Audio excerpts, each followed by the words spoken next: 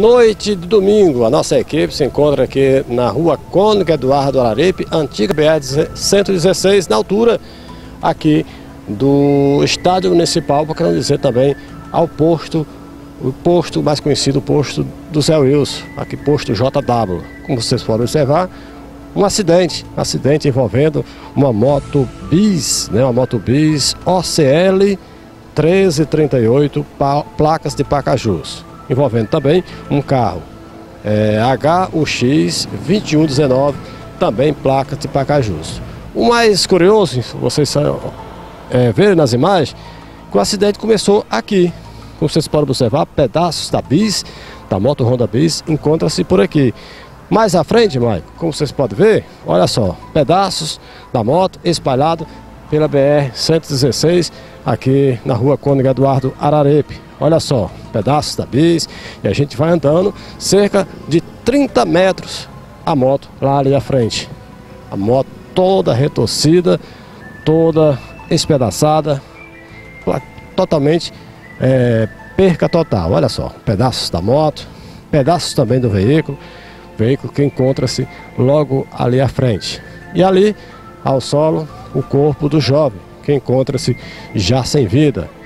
A equipe do SAMU já esteve aqui presente, já constatou o óbito e os dois condutores do veículo, do veículo que encontra-se ali parado, veículo vermelho, é, foram socorridos por populares, que parentes até das, das vítimas que encontravam-se aqui no local. Né? Trata-se a vítima Raimundo Marques de Souza, de 32 anos de idade. Viatura da, do Ronda do Quarteirão aqui presente, já resguardando aqui o local do acidente, como também o veículo do Demutran, juntamente com os agentes aqui, fazendo também a guarda do local do acidente. Ali a moto, como vocês podem observar as imagens, a moto totalmente retorcida, sem nenhuma condição, sem nenhuma condição mesmo de aproveitar em nada. O corpo da vítima ali ao solo e muitos pedaços da moto e do veículo também aqui em frente ao posto JW, que é mais conhecido aqui de todos. Nós iremos conversar agora com o pessoal do Demutran, populares que estavam aqui na hora, chegaram e puderam é, e podem nos relatar como realmente tudo aconteceu. Estamos aqui com um amigo da vítima, do Raimundo Marques de Souza, que encontra-se aqui no local difícil, né? Ver um amigo de infância nesse estado já morto ali sem vida devido a acidente, acidente grave esse nessa noite de domingo. Dia dos pais. Isso, dia dos pais. É, o pai dele, no caso, já faleceu, né? Ele é amigo meu de infância, a gente se conhecia, eu estava indo para a igreja e ele passou, que o, ele mora, o tio dele tem um ponto lá, uma bodeguinha bem pertinho. Ele estava jogando sinuca lá e quando eu saí para a igreja ele estava jogando sinuca. Deixei ele jogando sinuca e aí eu vim para casa. Quando simplesmente quando eu chego do culto, estou voltando para casa, chego do culto e recebo essa notícia.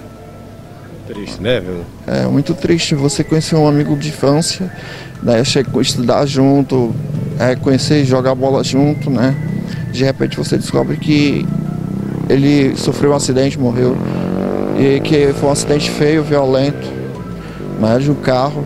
E aí você fica em estado de choque, né? Como eu tô, imagine como é que a família também tá, né? Você, você me falou agora há pouco que ele tinha acabado de sair do trabalho, né? É, ele, tá, ele acabou de sair da Jandaia e ele está recebendo o seguro-desemprego dele.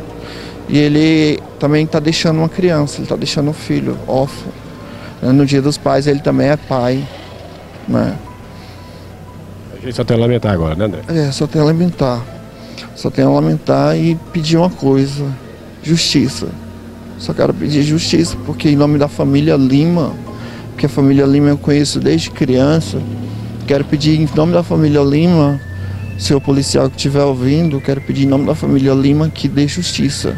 Que dê justiça, porque esse crime não pode ficar impune. Porque mora que tenha sido um acidente de trânsito, mas isso foi um crime. Com um crime com arma uma arma mais veloz que é um carro. E eu não queria que deixasse se impune, porque a família Lima toda está em estado de choque. A mãe dele não está nem em casa, deve estar no hospital. E hoje, dia dos pais, ele é o pai, acabou de, de, ser, de deixar uma criança de ser órfão. Não é isso aí, eu quero uma justiça, é isso que eu quero pedir, só isso. Quantos, quantos anos ou quantos meses tem a criança?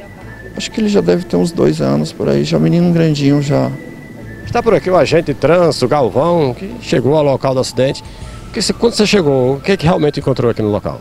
Bom, recebendo a chamada do, da ocorrência, nós se deslocamos para o local. Chegando aqui, nós encontramos o SAMU, que estava tentando reanimar a vítima, né? Mas sem sucesso. Ela veio a óbito, que é a vítima de nome é o Raimundo Marcos de Souza.